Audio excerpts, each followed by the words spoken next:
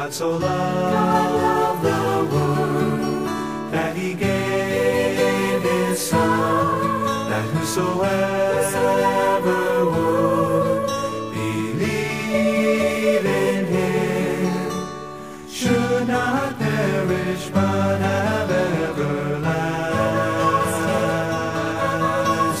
life.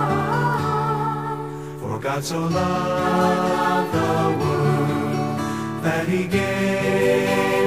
son, that whosoever would believe in him should not perish but have everlasting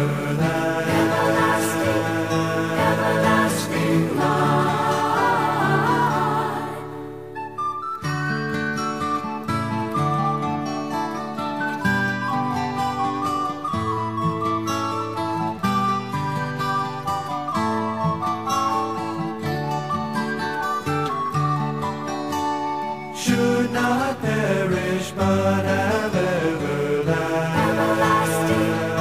everlasting life.